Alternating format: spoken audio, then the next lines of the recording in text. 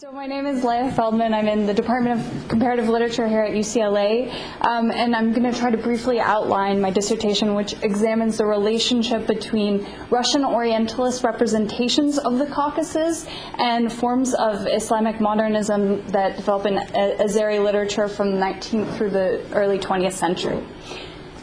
In 1920, discussions about the relationship between Islam and new forms of modern governance came to a head in the former imperial territories.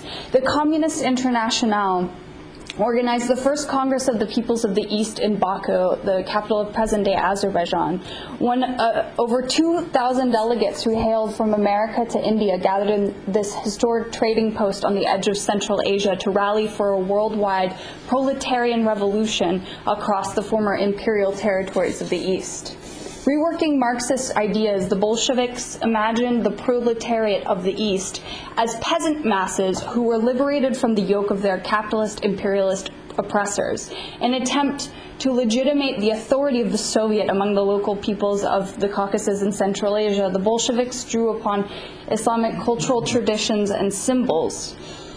Uh, for example, they organized the political demonstrations of the Ashura, uh, during the, uh, the day of Ashura ritual uh, performance of Shia martyrology. They called for international proletarian holy war or ghazavat, a local form of jihad against British imperialism, and translated the term Soviet as the Quranic term shura, signifying the specific democratic socio-political organization of Islam.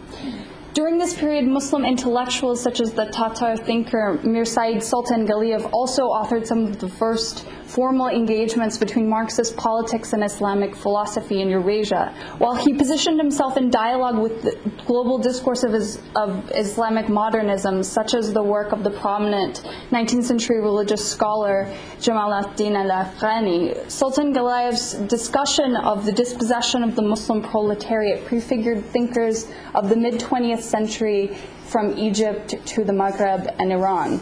However, the story begins earlier during the 19th century, the Eastern Orthodox Russian Empire conquered the Caucasus in 1828 and Central Asia beginning in the 1860s. These imperial conquests changed the social and political space of the Russian Empire, creating a multi ethnic, multilingual, and multi confessional community.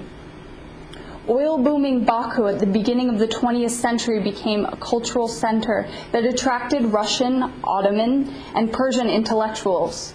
The beginning of the 20th century was not only, not only brought revolution, but generated a flurry of cultural production, including the creation of an international Turkic language press, some of the first film experiments after the Lumiere brothers um, by the Azerkino Film Company, and an internationally touring theater group, the Tahrir theater company which performed uh, translations of Othello. These were some of the first performed um, in Baku and throughout the Russian Empire.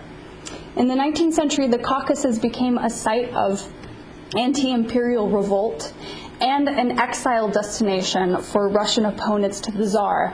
Representations of the sublime plunging mountains, wide Caucasian steppe, and the figure of the Muslim mountaineer uh, revolutionary began to captivate the Russian imagination.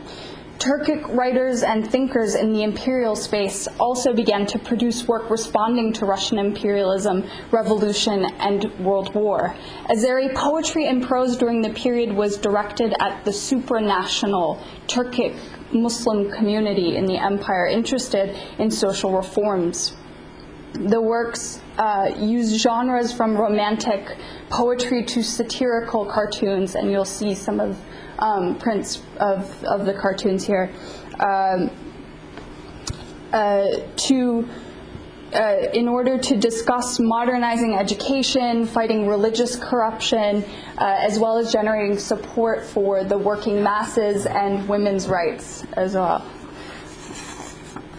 And these journals were uh, published all the way, I mean, through uh, Egypt to across uh, Turkey and Iran. The, the project basically here so exposes the intertwining structures of power during the late Russian imperial history through the revolution and the early formation of the Soviet Union. Uh, by examining the intertextual encounters in Russian and Azeri literature within their historical political context, they trace the cultural history of the Russian Empire and early anti colonial movements in Eurasia.